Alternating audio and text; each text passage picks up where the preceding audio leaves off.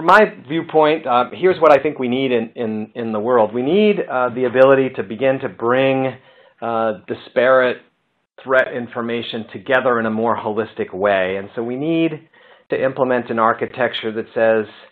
for all the different threat data that I have available, and, it, and it's likely going to be more than network, email, endpoint, and cloud over time, but I need a mechanism that I can plug more, uh, more intelligence in to a common analytics engine that helps me correlate that data and that information, but to do so in the context of what's happening in my organization. And that means I need the ability to um, identify what my security policies are in my organization and then the subsets of, of my environment and have policies that align to the specific needs of the different parts of my organization and then apply those policies consistently across um, all of my infrastructure and then be able to measure and identify real threats uh, that are taking place that are aligned to uh, the policies that I put in place.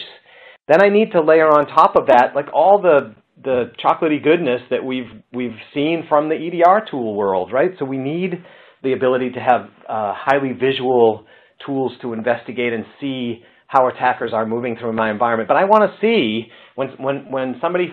gets phished and comes in through the organization and uh, and that moves and and credentials um, uh, or privileges get escalated in another part of my organization and we move laterally to another server. I want to see that happening. I want to I want to be able to visualize that. I want to be able to understand the attacker's patterns, and I want to do so in a in a way that allows me to to block those things on a broader basis, um, so that we can stop those attacks that are in progress along the way. So so that mechanism has to not only show me what's happening, investigate what's happening, but but automatically respond